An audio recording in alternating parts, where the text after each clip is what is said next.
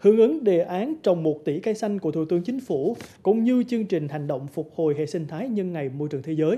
tại thành phố Đà Nẵng đã có nhiều hoạt động ý nghĩa nhằm thay đổi nhận thức cũng như kêu gọi mọi người cùng chung tay bảo vệ, gìn giữ môi trường sống. Chỉ bằng những hành động như dọn dẹp vệ sinh, trồng thêm cây xanh, rau sạch, tận dụng các phế phẩm tái chế cũng đã khiến chị em phụ nữ của phường Hòa Thọ Đông, quận Cẩm Lệ góp được phần nhỏ bé của mình vào việc xây dựng môi trường sống xanh sạch và đẹp. Ngay từ sớm Chủ nhật, các chị em phụ nữ của phường Hòa Thọ Đông, quận Cẩm Lệ đã có mặt để hưởng ứng ký cam kết trồng gần 40 cây xanh tại các nhà họp khu dân cư, xây dựng đoạn đường sáng, xanh, sạch đẹp. Hưởng ứng cái, cái đợt ờ, ờ, rau quân trồng cây xanh này thì là chị em rất là tích cực. À, và để cho mẫu người dân, mẫu cán bộ và mẫu người dân của chúng ta phải là đồng đồng làm rồi để xây dựng cái địa phương chúng ta là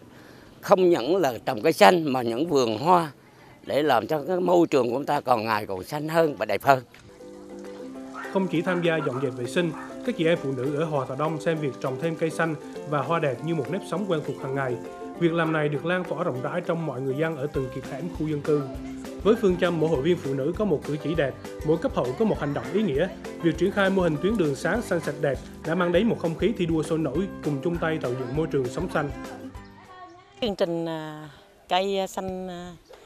làm đường hoa cho cái tổ dân phố tổ 56 ở đây là ở cặp bãi cả 10 là cả phụ nữ, cả hai bên đều hưởng ứng.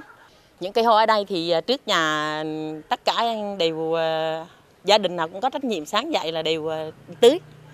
Cho nên là lúc nào cũng có hoa đẹp hết đường hoa luôn luôn đẹp. Chỉ bằng những việc làm nhỏ mỗi ngày các chị em phụ nữ ở Hòa Thọ Đông đã góp phần nâng cao hơn chất lượng cuộc sống lan tỏa tình yêu thiên nhiên môi trường đến với cộng đồng xã hội.